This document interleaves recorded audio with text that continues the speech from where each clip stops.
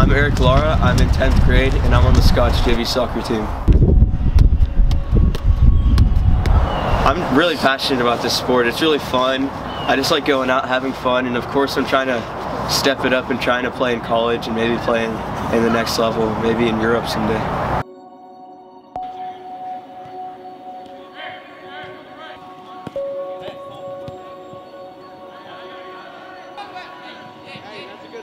Physically, I'm, I'm pretty fast. Um, mentally, I just go out there and have fun.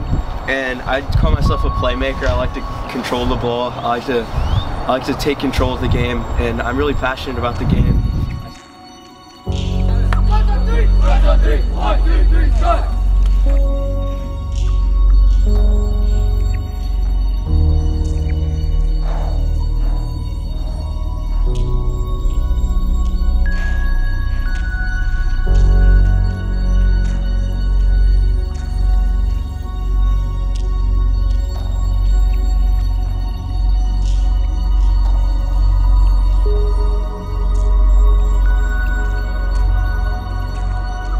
Freshman year, I was, due to some unforeseen circumstances, not being notified of the tryout schedule, I wasn't allowed to play soccer, which definitely hurt.